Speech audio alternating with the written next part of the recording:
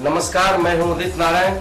आज Stirling sound में बहुत खूबसूरत गाना रिकॉर्ड हुआ है, जो हमारे निर्माता निर्देशक आलोक गोविल जी की फ़िल्म है।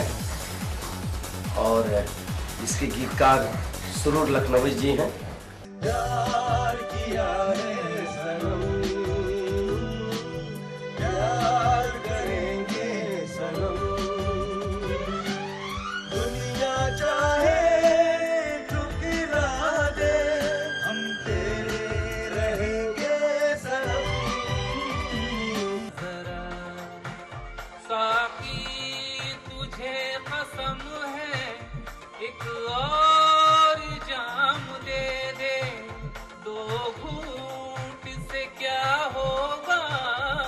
Fahrer